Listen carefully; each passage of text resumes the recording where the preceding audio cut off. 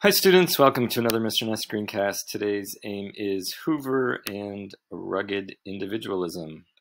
And here are your objectives. Please pause the video, look these questions over, and get ready to copy some vocab terms and take some notes.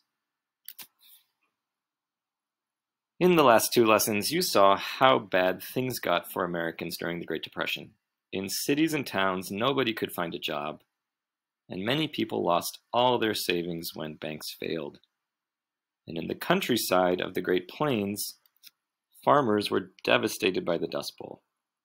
So things were really bad for a lot of Americans.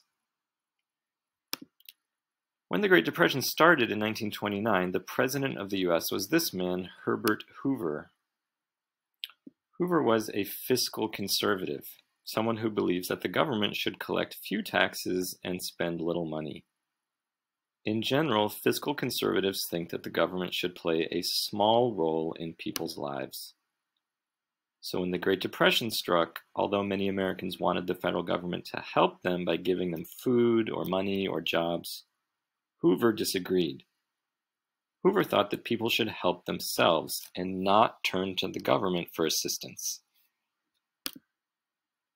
And this belief that people should help themselves instead of relying on the government is known as rugged individualism. Rugged individualism is the idea that anyone can succeed if they work hard. It's a pull yourself up by your bootstraps mentality. So even as millions of Americans became poor and unemployed during the Great Depression, Hoover told them to stay positive, work hard, and help each other. He defended his belief in rugged individualism in a speech that he gave in 1931. Let's look at what he says. This is not an issue as to whether the people are going hungry or cold in the United States. It is solely a question of the best method by which hunger and cold can be prevented.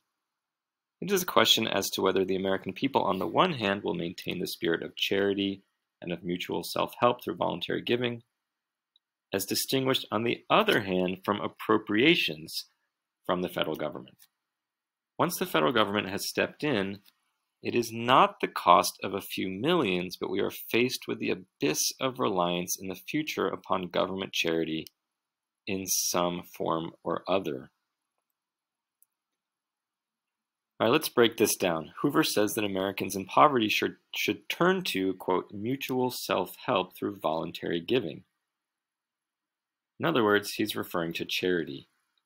He then says that once the federal government starts spending money on helping people, those people will fall into the abyss of reliance upon the government. In other words, people will get lazy and rely on the government to help them instead of trying to help themselves. So Hoover supported rugged individualism, and as a result, while he was president, the federal government didn't do a lot to help Americans in poverty. What are your thoughts on rugged individualism? Do you agree with Hoover that if the federal government gives poor Americans things like food or money or jobs, that people will become dependent on that support and stop working hard for themselves? This question is, being, is being debated right now as people argue over how much the government should support Americans who are facing the economic consequences of the pandemic.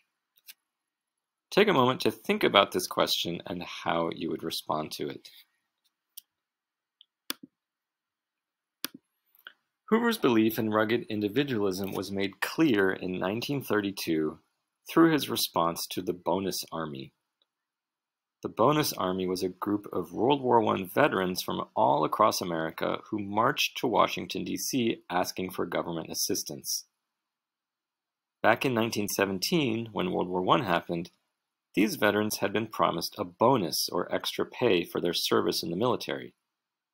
But there was a catch. The government wouldn't pay them the bonus until 1945, so they had to wait. Throughout the 1920s, the veterans didn't mind waiting for their bonus because the economy was good and they had enough money. They weren't in any hurry to get paid.